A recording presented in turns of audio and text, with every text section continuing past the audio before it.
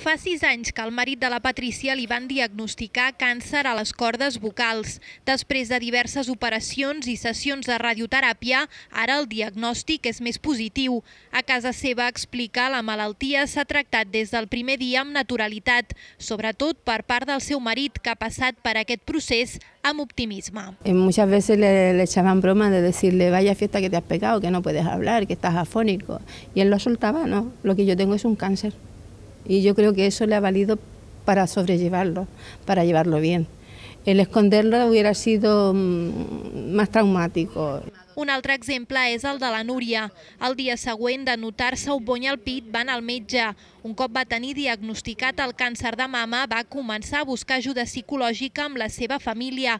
Precisament els efectes psicològics, explica, són, en el seu cas, més durs de superar que els físics. Creo que hay que hablarlo con naturalidad y con normalidad porque cada vez somos más lo, los que tenemos cáncer, ya sea de, de páncreas, de colon, de, de, próstata, de pecho, y entonces creo que hay que, que normalizarlo, porque entre todos nos tenemos que ayudar.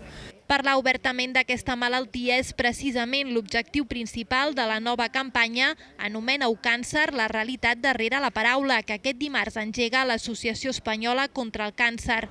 A Granollers, des de fa poc més d'un any, funciona un punt d'atenció d'aquesta entitat. Posar veu que aquesta, aquesta paraula comporta, perquè no li tinguem por, perquè sapiguem que bueno, és una malaltia que el nostre desig és que totes les modalitats arribin a ser, tindre la possibilitat de que es cronifiqui, però que ningú no, perdi la seva vida per aquesta malaltia. Precisament des d'aquest dilluns, aquest punt d'atenció ubicat al Passeig de la Muntanya ha ampliat el seu horari. És obert tots els matins de dilluns a divendres i les tardes de dilluns i dimecres.